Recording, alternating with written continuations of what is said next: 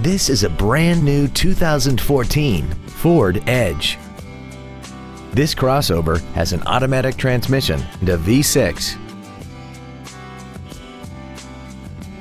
Contact us today and schedule your opportunity to see this vehicle in person.